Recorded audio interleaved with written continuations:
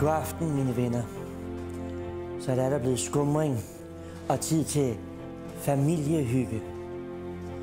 Nu skal det blive rigtig spændende at se den vifte af underholdning, som vi vil finde om for øjeblikke på Danmarks Radio. Nå, Valdemar. Min lille ven. Så er det vist blevet tid til, at du må få en bonbon. Værsgo. Ind i rosenmunden med den, Valdemar. Din billige dreng. Hej, Mark. Hvor er det godt.